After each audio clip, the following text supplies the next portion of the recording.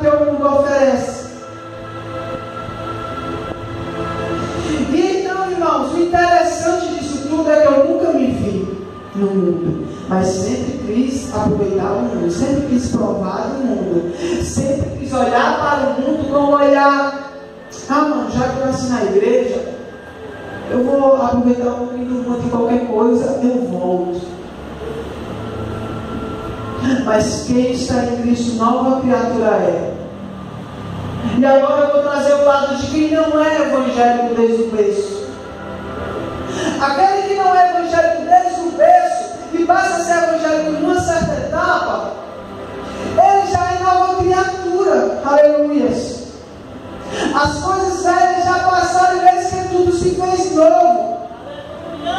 Só que chega uma, no início da sua carreira, ele ainda quer experimentar do mundo.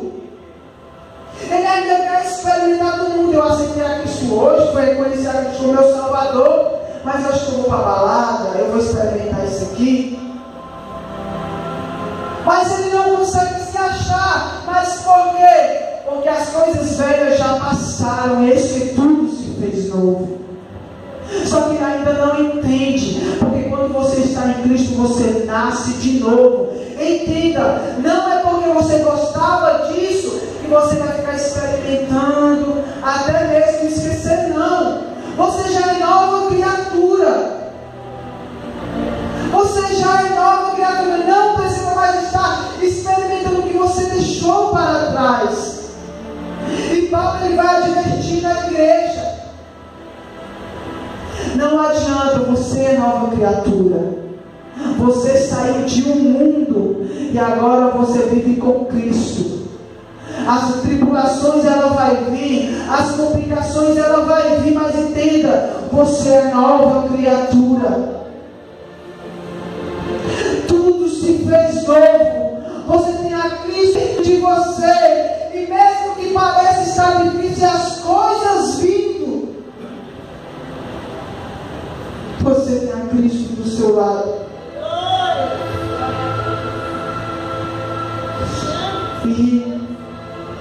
Interessante é que a pergunta que se faz, o Giovanni que se mostrar o nome dele. Mas a gente conversa muito nesse sentido. Quem está em Cristo, nova criatura é. Então, quando passamos por problemas, nós lembramos que tem a Cristo. E aqueles que não têm a Cristo. Aleluia. Às vezes, para nós passar por problemas é mais fácil. Porque nós temos a Cristo. Nós sabemos que é problemas e vai passar. Mas aqueles que não têm a Cristo, sabe o que Deus diz essa noite? Tenha nós como instrumento dele para levar a palavra. Sabe, aquele que não tem a Cristo está esperando eu, está esperando você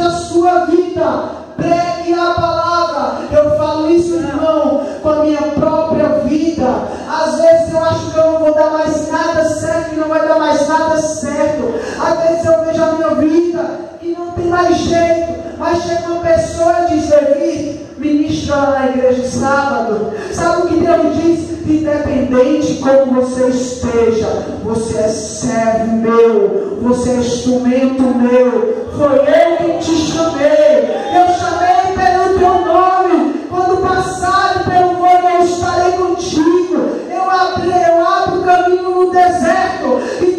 vai continuar abrindo. Continue confiando nele. Continue na palavra, continue confiando na palavra dele. Aleluia. E mais cinco, e vai dizer aceita mais. Tudo isso é feito por Deus, o qual por meio de Cristo nos transforma de inimigos em amigos. Aleluia.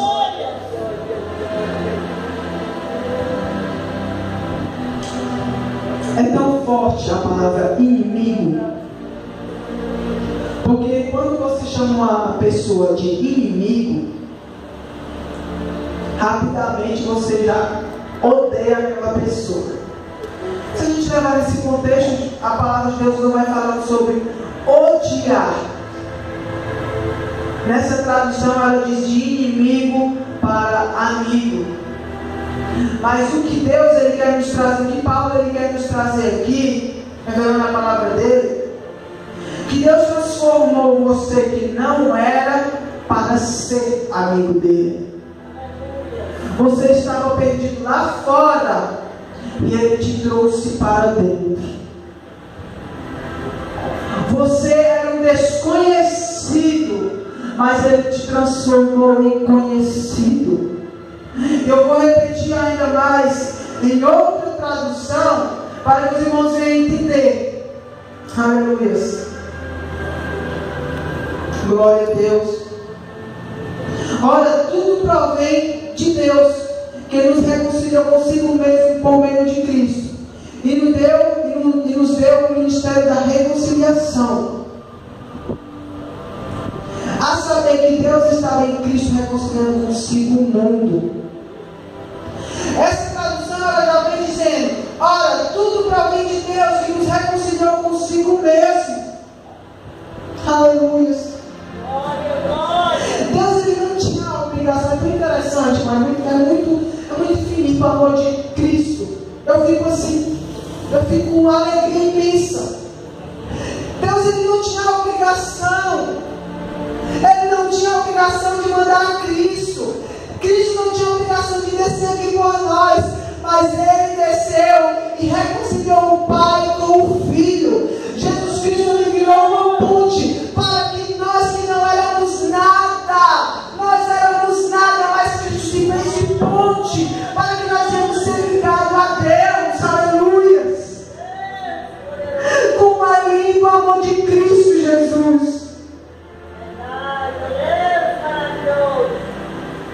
Nós que estávamos já perdidos,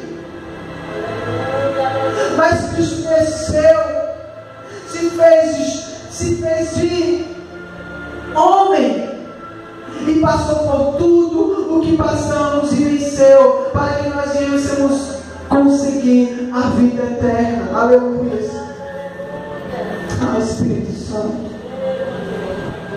A gente só, por, tantas tribulações na vida, como tem muitos jovens aqui na escola, dentro da nossa casa, o nosso pai não, não nos aceita. A nossa casa é atribulada, a briga com os pais, a briga com, a, a briga com os irmãos, aí a tribulação dentro de casa, a tribulação na escola, a tribulação na faculdade. Só que Deus está te olhando e fala, eu mandei o meu filho para que você viesse ser salvo. Então abre teu coração para mim. Ele diz essa noite: abre teu coração para mim. Olha para mim. Porque eu estou de braços abertos para você. Porque eu estou de braços abertos para você. Para que você venha alcançar vida de Deus. Oh, aleluia nós achamos que Deus nos esqueceu. Por muitas vezes na minha vida, eu quis tanto ter uma corda no meu pescoço. Eu quis ver tanto a minha vida tirada de mim.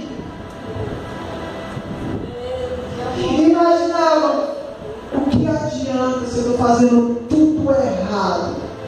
Eu chego em casa, eu brigo com meu pai, eu não dou certo com a minha mãe, os meus irmãos já nem não gosta de mim, a melhor coisa que eu tenho a fazer é tirar a minha vida. A melhor coisa que eu tenho a fazer é se matar mesmo. O que adianta eu ficar nessa vida? O que adianta eu ficar nesse mundo se nada dá certo?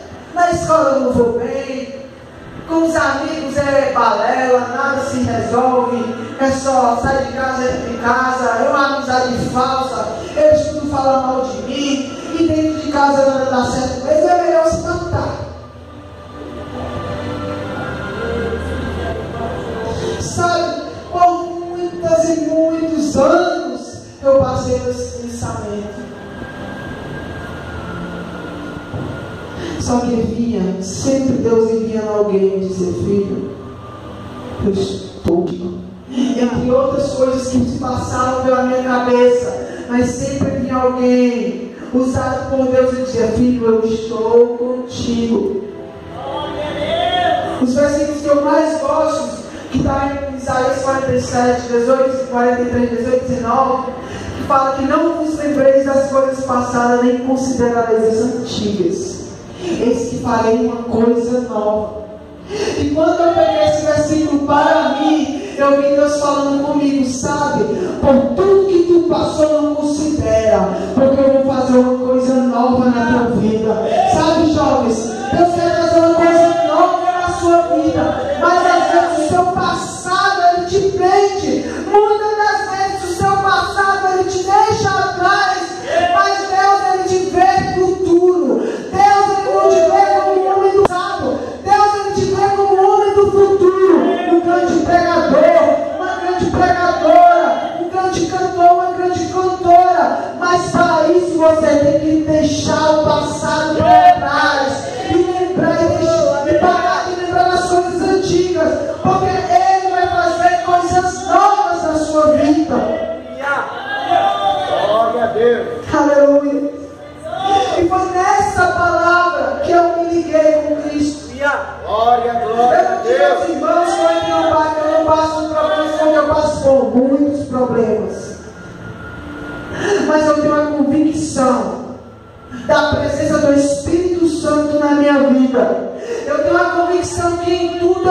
a Cristo. Eu tenho uma convicção que as lutas ela vai vir, mas que Cristo na minha vida eu sou mais que vencedor. Aleluia.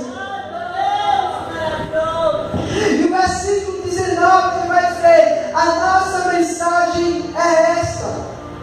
Boa. Deus ele não leva em conta os pecados dos seres humanos. Por Cristo, Ele está fazendo com que eles sejam seus amigos. E Deus nos mandou entregar a mensagem que fala da maneira como Ele faz com que eles se tornem seus amigos. O início do versículo 19 é interessante. A nossa mensagem é esta: Deus não leva em conta os pecados dos seres humanos. Aleluia.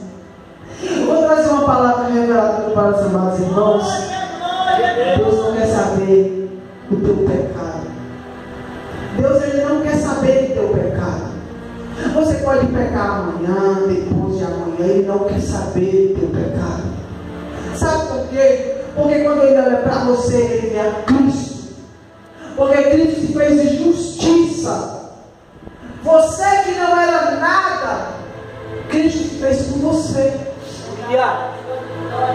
Quando vai julgar você, Ele olha para Cristo e diz que já não pode mais, porque Cristo fez você virar amigo de Deus. Então não fique se julgando, pai, eu vou para o inferno, eu peguei contra ti. Ai meu Deus do céu, Senhor, eu peguei, pai, eu não vou para a igreja não, não fui para a Santa Ceia. Vou para o inferno, Senhor. Deus ele não olha para isso. Eu já vou continuar dizendo por quê. Deus ele não olha para o seu pecado, porque quando Cristo morreu na cruz, ele morreu por todos os seus pecados. O seu pecado de ontem, o de hoje e o de amanhã. Entenda. Entenda que quando Deus olhar para você, ele vê Cristo. Ele vai continuar dizendo, eles sejam seus amigos.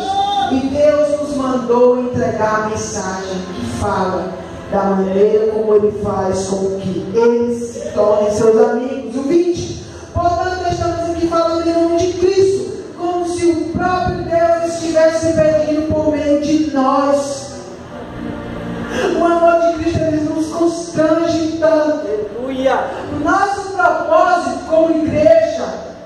É se constranger pelo amor de. Deus. Glória a Deus. Eu vou usar o exemplo de uma mãe para o filho. A mãe faz tanta coisa pelo filho, o filho que reconhece, é claro, que ele não vai desobedecer ela. Mãe me dá um real, mãe me dá dois reais, a mãe dá.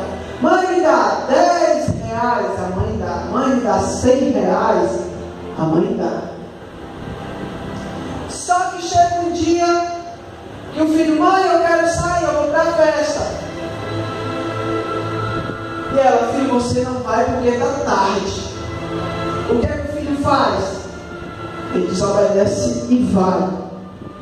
Isso é um filho desobediente. Mas o filho que eu quero trazer essa noite é o filho que reconhece o amor da mãe quando ela faz, quando ela faz as ações. É, eu peço tanta coisa à mãe e ela me dá. Então eu vou ficar em casa mesmo. É essa, é essa ação que Deus quer da gente. Se constranger com o amor de Cristo. Ele morreu por nós de uma tal maneira que o amor dele nos constrange que eu não vou estar fazendo as coisas que não é para fazer. Que eu não vou estar fazendo o que o mundo me oferece. Mas não porque a religião fala, mas porque o amor porque a ação dele me constrangeu para que eu não venha fazer. A igreja,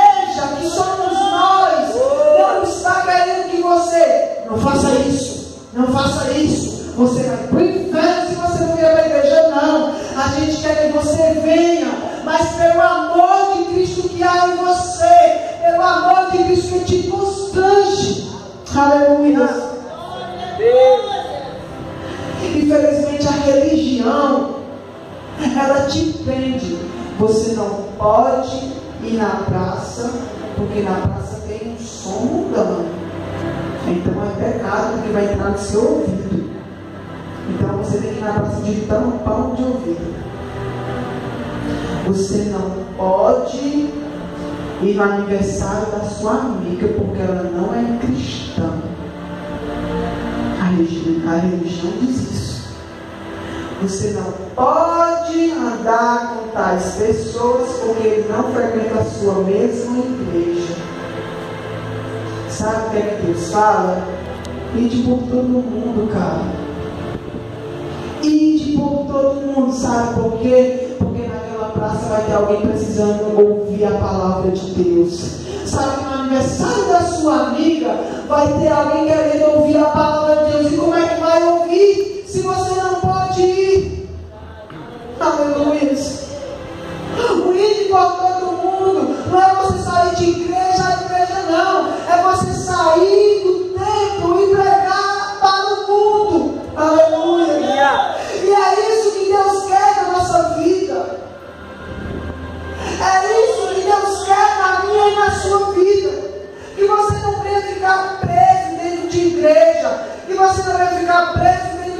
mesmo. Que você grite para o mundo que veio fazer as boas novas. Que veio fazer o ir do Senhor. Aleluia. E ele vai continuar dizendo: Em nome de Cristo, nós pedimos a vocês que deixem que Deus o transforme de inimigos em amigos dele.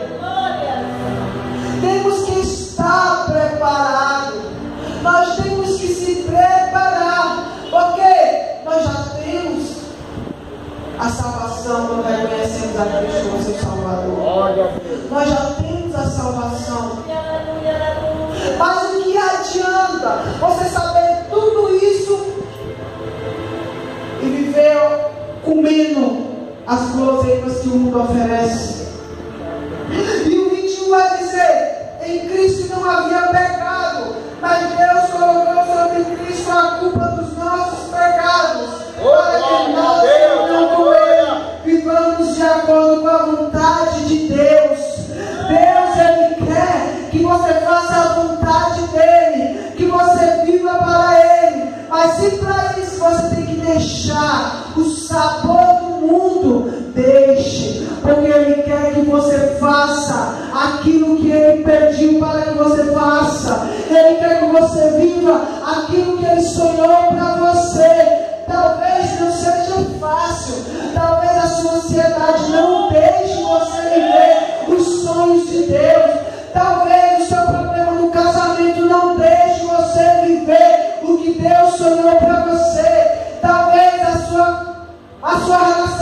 Família não deixe, mas entenda que esse é o seu vale. E Jeremias, eu sempre confundo Jeremias com Ezequiel, 37, vale de secos, acho que é Jeremias esse. A palavra de Deus ela vai falar e quando Jeremias chegou naquele vale, Ezequiel, obrigado. Quando Ezequiel chegou naquele vale, houve um reboliço. Só que nós entendemos que o reboliço, ou em outras traduções, a confusão, ela vai ser de quê? De coisas ruins. Confusão, reboliço é coisas ruins. O significado é coisas ruins. Então, quando você ouve a palavra reboliço, ali já eu já não quero estar ali. Só porque Deus traz para nós essa noite o quê? Que para que viesse a haver o juntamento, o juntamento dos ossos, teve que antes haver o reboliço. O que eu trago para na sua casa está havendo uma confusão, na sua casa está havendo reboliço, mas entenda, é porque Deus ele quer juntar você com a sua família. E se para isso ele vai ter que fazer um reboliço dentro da sua casa, ele vai fazer, mas que você venha entender que antes de haver carne e nervo, ele vai ter que juntar os ossos. Deus ele não trouxe carne e nervos. Sabe por que Deus não trouxe? Aleluia. É porque ia virar um monstro. Ele ia juntar as carnes e cadê? Ia se juntar onde se não tinha esqueleto? E às vezes, muitas das vezes, a gente quer fazer as coisas, sabe? De uma maneira que não é de Deus. Deus falou que vai transformar a sua casa. Estou tocando muito no ponto de casa, não sei por quê. Porque Deus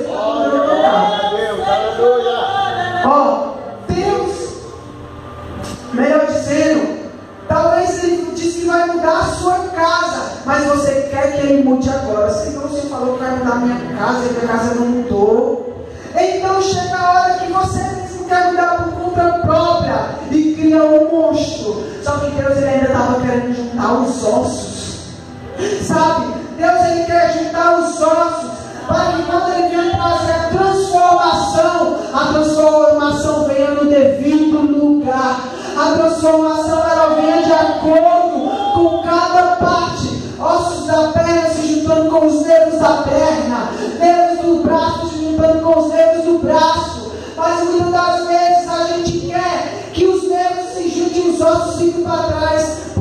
verdade é que a gente quer muito é ver as obras e não quer ajoelhar. A gente quer muito viver as obras e não quer jejumar. A gente quer muito viver o que Deus sonhou para nós, mas não quer viver o tempo de Deus. Quer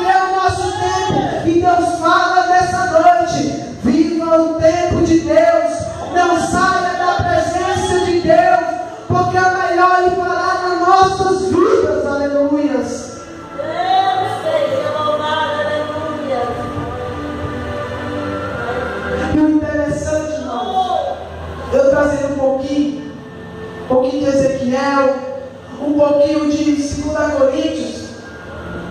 E Deus ele vai finalizar para a igreja essa noite dizendo, Glória, glória, glória. com essa palavra, é que nós temos que olhar para Cristo, sabe? Tem alguém aqui não é evangélico? Todos aqui são evangélicos? Todos são? Glória a Deus. Alguém aqui para se reconciliar? Tem alguém? Não, todos são cristãos. então se torna até mais fácil. Sabe? A nossa vida de adolescente, trazer mais jovens aqui que eu estou vendo, a nossa vida é tão conturbada.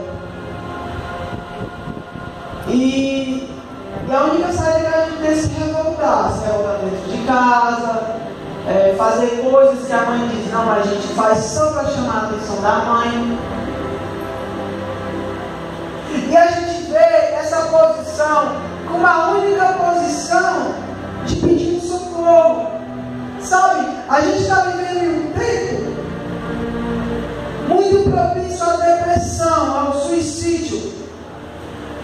E nesse tempo que a gente vive, muitos jovens e adolescentes estão fazendo ações que ele faz não porque ele quer, mas porque é uma forma de pedir socorro.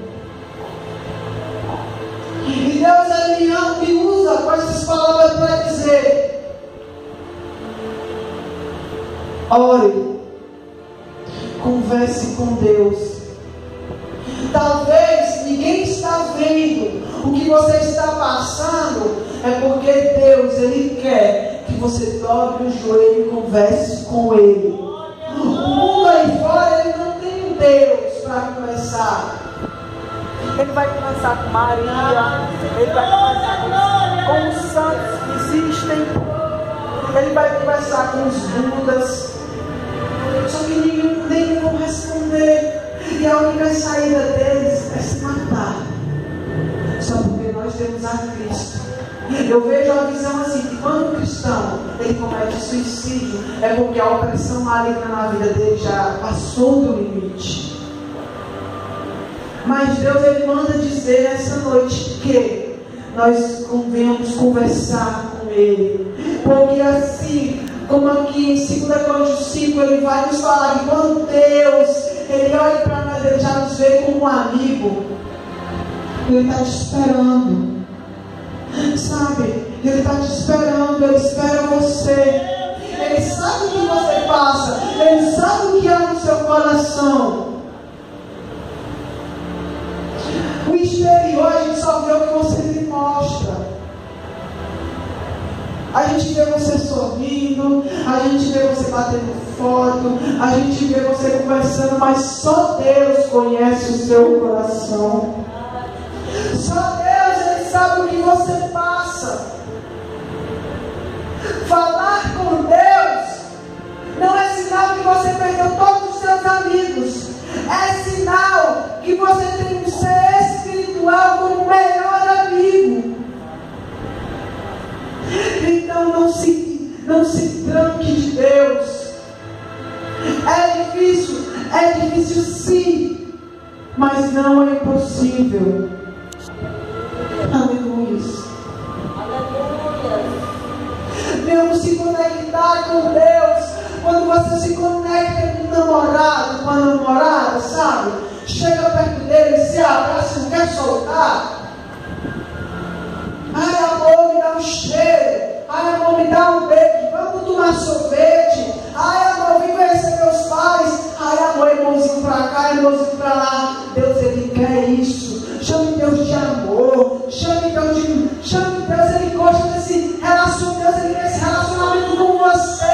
Ai, meu amor. Ai, meu Yeshua. Ai, Senhor, me dá um cheiro, Pai. Senhor, não estou te vendo, não, mas eu sinto que o Senhor me deu um cheiro tão gostoso que meu dia já melhorou. Uma das cidades que eu gosto mais. Veja Deus em tudo.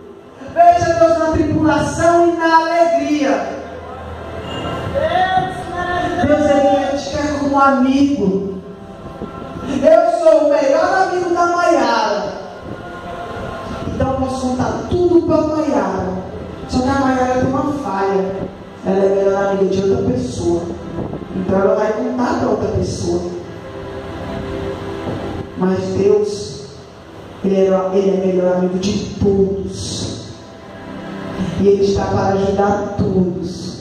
E você pode confiar nele, porque você vai ver Deus falando para outra pessoa. Porque Ele é Deus. Porque Ele é o ser divino. É aquele que sabe de tudo. É aquele que te prometeu que você vai ser a serva dele. Que foi escolhida desde o ventre da sua mãe. E Ele diz: Você vai ser uma grande mulher de Deus. Mas para isso, você tem que passar por essas grandes coisas. Aleluia. Quando Deus chamou a Davi, ele chamou, muitos dizem aproximadamente 17 anos. Mas se a gente for ler a Bíblia, Davi foi escolhido do... Poxa, Deus escolheu ele adolescente, mas ele foi rei já adulto. Nesse de tempo que aconteceu com Davi, a preparação. Sabe, José sonhou sonhos loucos, sonhos que estrelas e luas e sol se curvavam a ele, entre, entre outras coisas que José sonhou. Mas aquele sonho era Deus falando para ele. E o que aconteceu com José? Foi traído por quem? Pelos seus vizinhos? Foi traído pelos seus melhores amigos? Não, ele foi traído pelos seus irmãos. Ele foi traído pelos de dentro de casa. Ele sofreu, foi escravizado, passou por tentação, foi preso injustamente para quê? Para que do nada Deus fizesse tudo na vida dele. Foi governador no Egito, quem já viu governador antes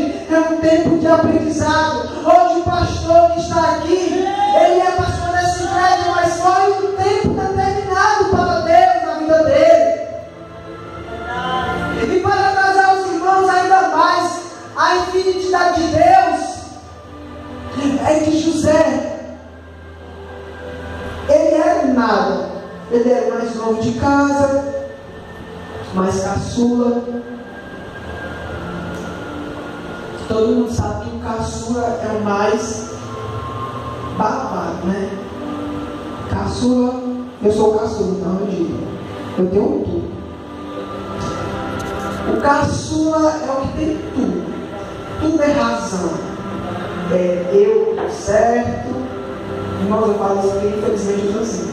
Eu acho que eu certo em tudo. E o mais velho apanha dez vezes, o mais novo apanha só uma vez. É, faz as coisas erradas quando é criança. Não, mãe, foi ela. Ela apanha no lugar do mais novo. É, eu sei disso. Já fiz muito isso. Sai escondido e fala que foi o irmão do meio que disse que sair.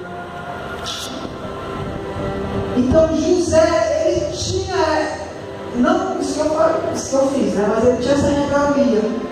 Era mais legado, né? Recebeu coisas que os mais velhos não receberam.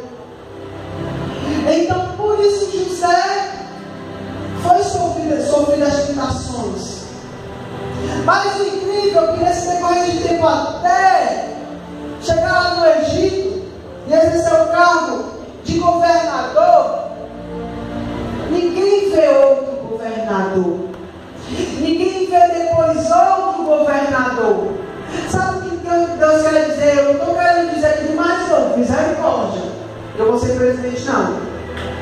Mas o que Deus está querendo dizer é que, que quando Ele te escolhe, Ele vai te colocar numa posição que não vai ter outro para tomar a sua posição. Porque é sua. Se você vai ser um grande pregador, tem milhões de pregador, mas você vai ser um pregador que Deus te escolheu. Tem vários pregadores, mas você vai ser um pregador com aquele charme especial, com aquele cheiro de Jesus. Porque quando Deus te chama, Ele te chama para um cargo especial. Se Ele te chamou para ser um grande líder, Ele vai te colocar em uma grande liderança. Mas há um tempo determinado. Aleluias.